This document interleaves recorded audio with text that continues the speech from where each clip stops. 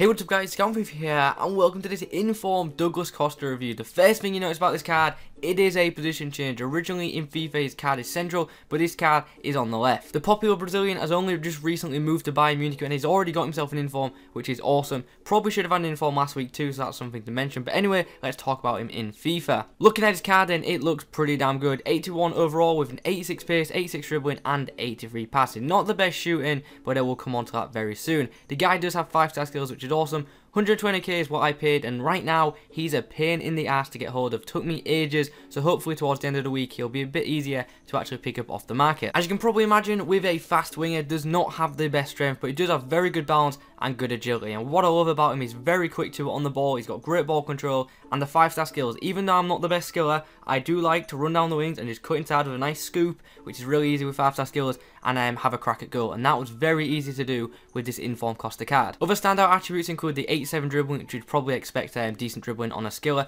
and also 85 short passing. No issues with his crossing and passing, to be honest, as long as you pass on his left foot. Right foot wasn't so great. But what I do want to talk about is his shooting. His finishing is not good at all. If you're looking for a winger that's going to finish regularly, probably not going to advise picking up this Inform Costa because there are definitely a better bunch of alternatives that you could go for. However, if you are going to shoot with this guy, don't go for the finesse, go for the shot power. His shot power is very good and it does beat the keeper. You will see from most of the clips that I score with Costa, I'm just going for shot power and uh, most of the time it does beat the keeper, so very impressive on that aspect. Pace-wise, the guy is quick. He feels a lot quicker than his card suggests and I think that's down to the dribbling and the ball control. Really good in the ball and really fun just to use in general. As I say, I was just abusing the hell out of the scoop turns and um, they were just very effective. They worked very well because he kept the ball so close to him and it made it easy just to get the shot away and put the ball into the back of the net. If you're thinking about picking up this guy, there are two obvious comparisons. One being Ribery for a Bundesliga team and the other one being Neymar for just a Brazilian team and on both occasions, Douglas Costa would finish second in my opinion. Ribery is just a lot better at passing, stuff like that, and shooting is probably on par with Costa,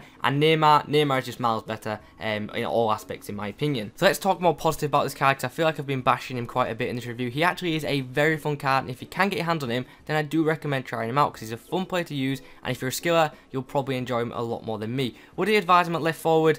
Not really, because he's left footed on the left side, but if you do like to cross, then maybe you'll get more out of him. But um, as I said, what I was using him for was to cut inside and shoot, and he did that fairly well. But um, as I said earlier, there are a lot better alternatives if you are thinking about picking up a Brazilian or a Bundesliga left mid. So to sum up, I'm going to give this informed Douglas Costa card an 8.6 out of 10. I think that's a fair rating. The things I liked about him was that he was quick, he was good on the ball, his crossing was uh, pretty good to his left foot on the left side. Five star skills are a huge bonus, and his ball control was very good. Negatively, his finishing let him down, so did his right foot and the strength. Is he worth the coins. Now, I'd say yes because he's a good position change, but there, you have got to take into consideration, for me, there are better players for the price. So if you've got plenty of coins to splash, then why not pick him up? But if you don't have that many, then um, there are better options. Like if you want a Bundesliga winger, I'd go for someone like Reus. and if you want a Brazilian one, I'd go for someone like Neymar. Anyway, guys, that is the end of the review. If you have enjoyed, remember to leave a like, comment below who you'd like me to review next. Have a good day. Adios.